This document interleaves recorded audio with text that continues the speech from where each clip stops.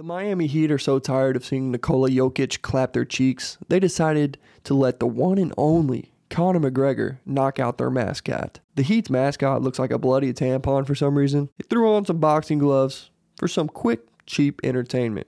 You know, attention spans nowadays. And here's McGregor, dressed like a gay vampire. It looks like he literally just finished filming Thriller. Sprays him with something and gives him a clean left hook. Conor hit this mascot harder than he hit that random old guy at the bar for not liking his whiskey. The tampon hits the floor, and the crowd goes weirdly silent. Apparently he wants some. Oh! The notorious one hits him with the double tap. Boom. The mascot is out cold. It's over. Is this the best we could do, Miami? Why not bring the Chinese girl out that bounces plates on her head, you know? Or that little monkey that rides a pig. That shit would have been electric. Guys, how about this? Let's have the fighting guy knock out our mascot. The crowd will love it. Do better, Miami.